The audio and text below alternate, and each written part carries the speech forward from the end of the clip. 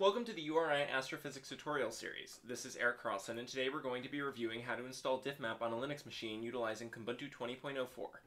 This tutorial has been tested on Ubuntu 18.04, Ubuntu 20.04, and Kubuntu 18.04. First things first, you'll need to install the following libraries to install difmap.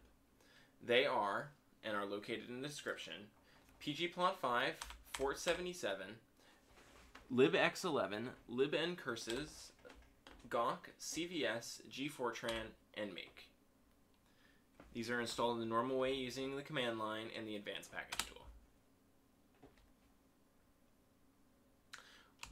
Once our packages have finished installing, we can now obtain difmap using, utilizing the Caltech FTP site. This can be achieved by putting the URL on screen or in the description into your browser. This is traditionally done via anonymous FTP, however I find it more reliable to utilize Mozilla Firefox. We want to save the file instead of opening it with Ark before we move it from our downloads folder to our home directory.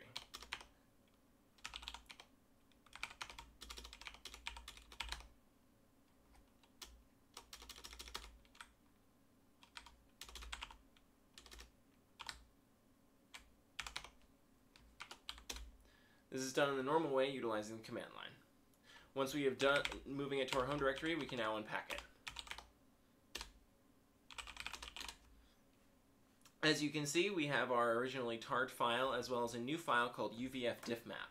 From here, we want to enter this new file, uvf difmap, and run the configure script, which is done using dot slash configure followed by Linux I-486, followed by GCC.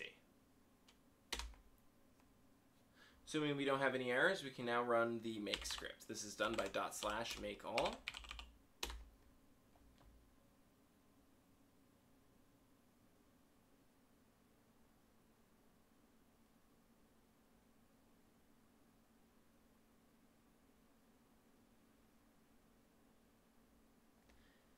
And we can now test to make sure our difmap opens correctly.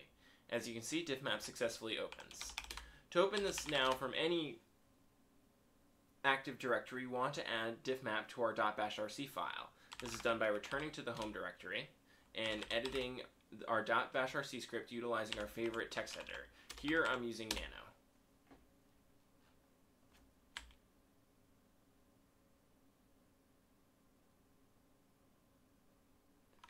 So once we go down to the end, we want to add the following line. This is going to be alias difmap equals, and then the directory in which difmap was installed. So this is going to be uvf difmap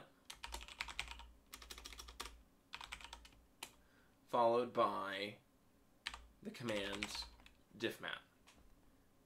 So once we write this out to our .bashrc file, we can now open a new window and open difmap from any Active Directory.